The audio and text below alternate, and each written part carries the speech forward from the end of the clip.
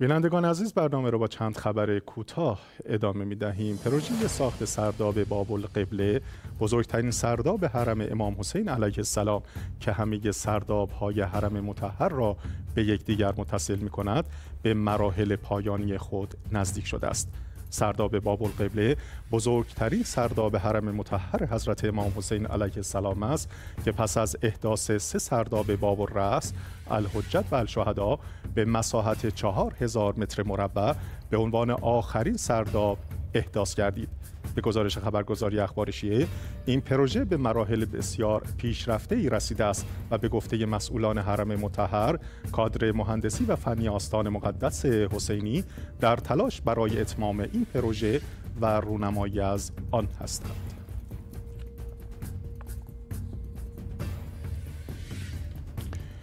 رئیس مرکز راهبردی حقوق بشر در عراق گفته تغییرات آب و هوایی باعث جابجایی بیش از 100 هزار نفر در طول 8 سال از سال 2016 میلادی شده است. به گزارش الفراد، رئیس این مرکز افزوده عراق به عنوان پنجمین کشور آسیب پذیر در برابر تغییرات آب و هوایی قرار دارد از افزایش دمای هوا، کاهش بارش ها، خشکسالی، کم آبی، ریزگردهای مکرر و بیابانزایی و افزایش شوری خاک تأثیر مستقیم میپذیرد.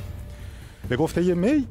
میسان، بصر، زیغار و واسط بالاترین نرخ مهاجرت ناشی از تغییرات آب و هوایی را داشتند. با تشدید تغییرات محیطی و اقلیمی همه شاخص ها معید افزایش میزان مهاجرت در این استان ها است.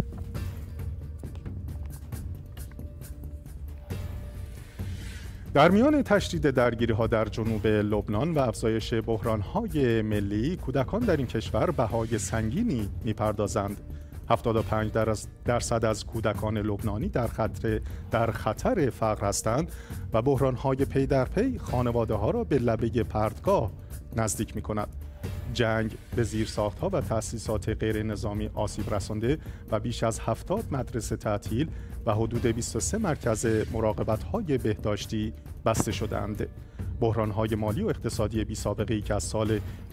2019 کشور را ویران کرده آسیب پذیری های اقتصادی موجود را تشدید و منجر به از دست دادن شغل و درآمد، تورم بالا و کمبود خدمات ضروری از جمله برق و دارو شده است.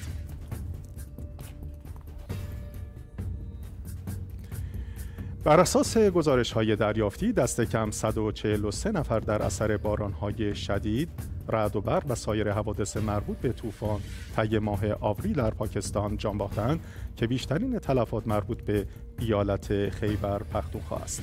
رسانه های پاکستانی روز چهارشنبه دوازدهم اردیبهشت گزارش دادند که 83 نفر از جمله 38 کودک در خیبر پختونخوا جان خود را از دست دادند. مقام ها در پاکستان گفتند که این کشور دو برابر بیشتر از حد معمول در ماه آوریل بارندگی را تجربه کرد.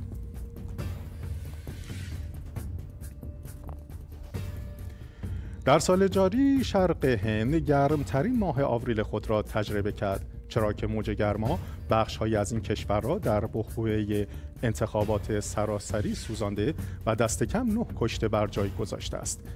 تحلیلگران سیاسی گرمای شدید را یکی از دلایل مشارکت کم رأی دهندگان در انتخابات هفت مرحله پارلمانی که از 19 آوریل آغاز شد و نتایج آن در چهارم ژوئن اعلام می شود ذکر کردند. با این حال پیش بینی می شود که وضعیت موج گرما در روزهای آینده به تدریج کاهش می یابد.